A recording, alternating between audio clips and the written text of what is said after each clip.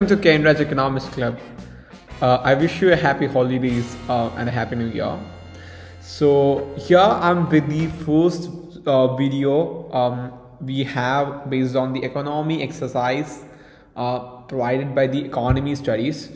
Um, so just a quick introduction to what exactly is economy studies. So economy studies studies is something which was initiated by our economy, our new economy and rethinking economics, which is partnered with Exploring Economics Institute of New Economic Thinking, Oikos, um, CoreEcon, and Global Development Policy Center, Economics in Context Initiative, and Boston University. So here in this first video, this month in the economy, uh, we are we are using the um, uh, actually the intention of this video is to deliver um, and show you how you can use make use of the uh, particular uh, PDF template uh, this particular exercise which is produced by the economy studies um, every month. At least they'll produce at least one or more than one um, episodes of uh, such content every um, every month. So this uh, this year it's the World Cup in Qatar. Uh, because none another thing was talking the world and having the entire globe's attention during this period of time so we are discussing world cup in qatar um, so let, let me uh, before jumping into the um, uh, actual uh, presentation uh, let me just present you how this the economy studies brings you the entire thing so the economy studies gives you such an instructor guide where, where the teachers um, in universities or colleges can go through this entire um, instruction guide and see how uh, how to perform the particular economy exercise. Uh, here you can see everything is detailed here. So uh, what economy study this uh, this month in the economy exercise what what the thing is and like what economics of world cup in qatar and all such uh, details are given here. You can see uh, how a world cup in qatar the, the lesson plan is given how time need to be divided across the slides which is attached to the presentation. So there is also a um, popular article as well as um, video suggestion uh, by John Oliver. So you must have watched that video already. So this two, this article and the other thing, which was the preparatory works for the students, that uh, there are uh, instructions for the instructor as well. So there is this summary, how to conclude and things. So this is a pretty detailed uh, report which can be used. So let let's quickly see what the um, uh, the it, one of the attachments is also so this is the other attachment which was there as part of the uh, um, part of the um, I mean the package which we, we can say the most expensive World Cup in history. So this particular uh, article actually gives the entire idea. Uh, I just highlighted the uh, all the uh, uh, all the adjectives here. So this is kind of um, uh, gives all the kinds of uh, information regarding all the controversies, all the informations, and uh, how uh, the budget of the World Cups throughout the history. Uh, so it's it's pretty much explaining the entire thing and setting context for every student who's uh, so no no student stands miss the point so just diving into the presentation. So here you can see the various uh, in this slide you can see the top controversies associated with the qatari world cup. So you can see the uh, environmental issues. Uh, the world cup in qatar is a climate catastrophe. That's one of the articles which was pointed out. Then this lgbtqi plus violence and those atrocities those that is also listed in another art from quoting from another article. So then then this is huge thing called uh, world cup's forgotten team. Actually uh, talking about the migrant laborers who had to suffer um, the qatari uh, labor laws which are considered to be um, inhumane in many many contexts um, also there is a huge lot of uh, restriction on press and the press safety was pretty bad. Um, so these are the top controversies just setting the context for the students. So then you have this um, here you have this frontline uh, uh, friend, uh, Front Office Sports article so uh, um, I mean, this saying that it's the most expensive uh, World Cup where there was the most uh, bigger spending, which we just saw how the spending was different across all the different years. You can here see it like uh, how much was spent in US in 1994 till like in the uh, Qatari World Cup. Like the the growth was tremendous. The uh, jump was tremendous. So th- that's something uh, which which is mentioned in here. So moving uh, further you can see uh, what exactly which we, we are doing as part of the exercise.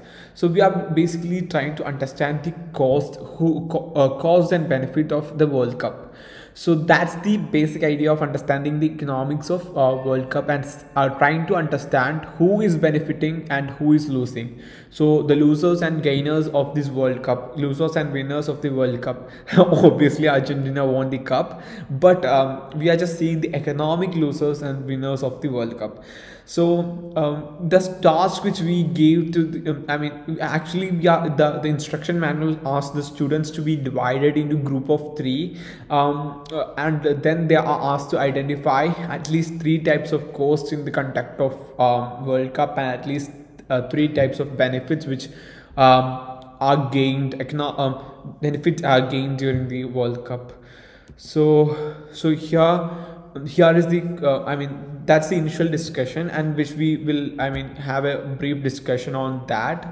Um and then move, move moving ahead and like then going for who will uh, who, who will pay and like who will gain from the conduct of the world cup.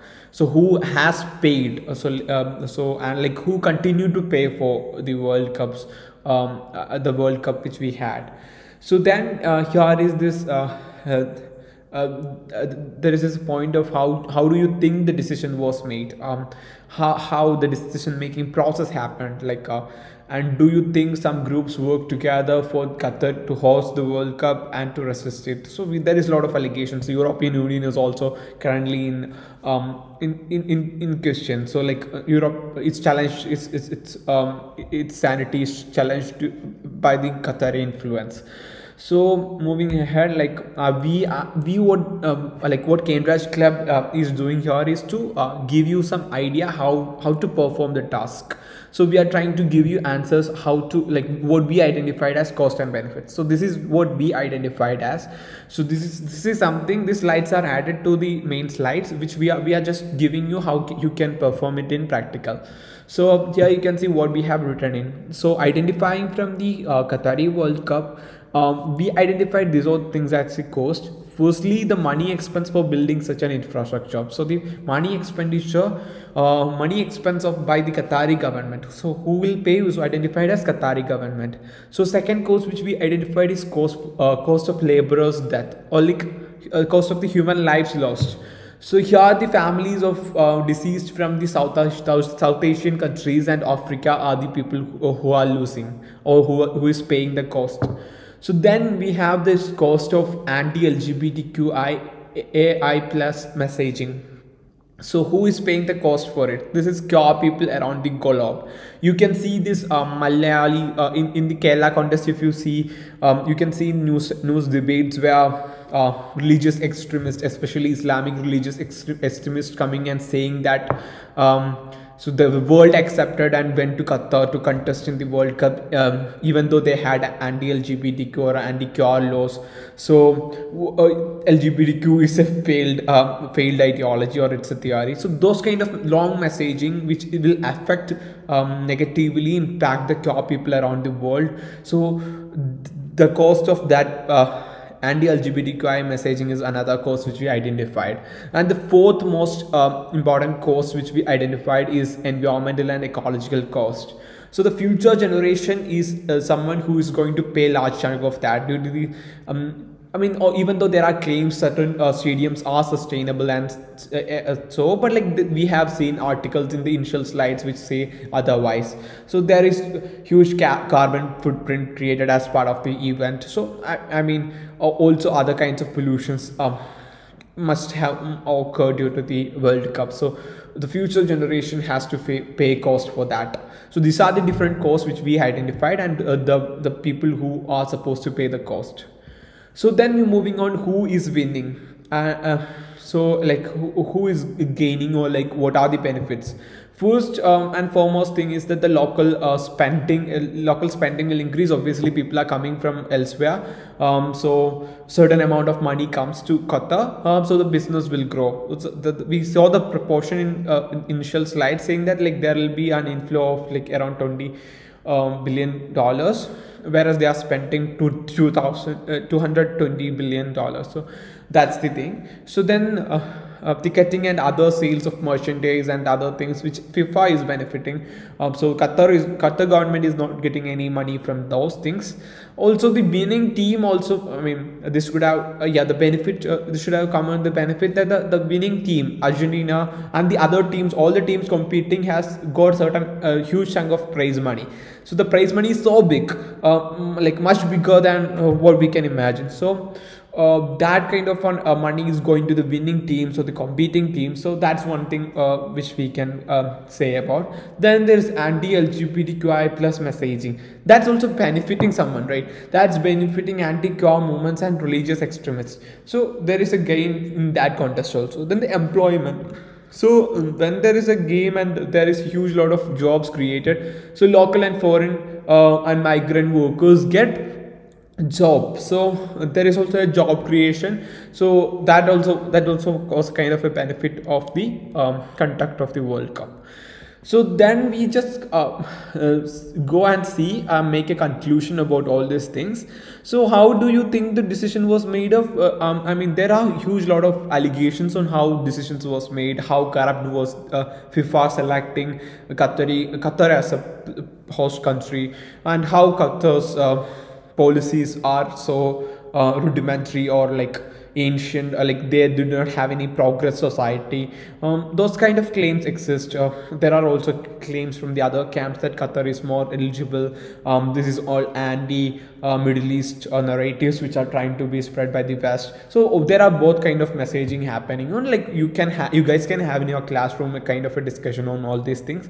And uh, how I mean you, you are also seeing that Qatari government and Moroccan government was buying uh, um, certain um, things, uh, certain uh, European uh, parliamentarians, and this kind of allegations are going on. So a lot, lot is happening in the world politics uh, in association with the um, Qatar.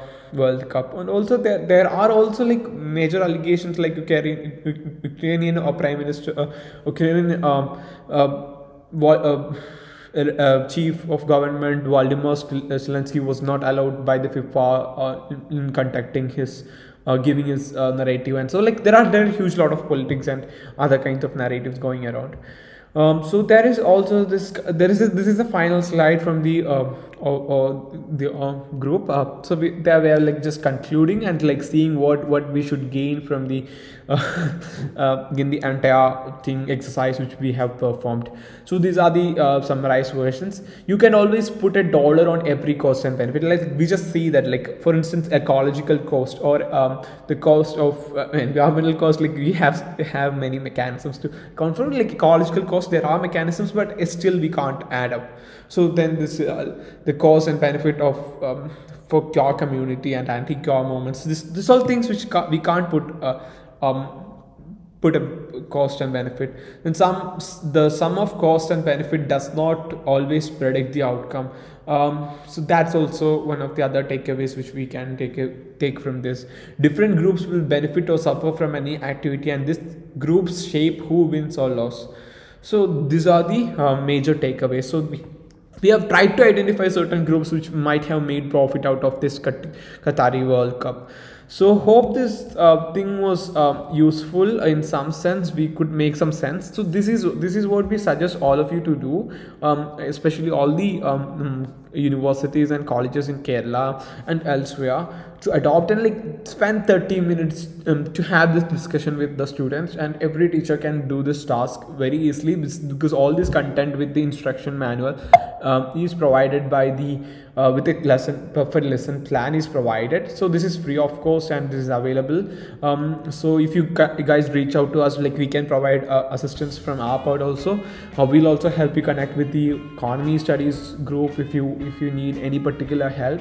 So these things can be done and uh, we hope all of you enjoy the video and happy holidays and have a nice new year.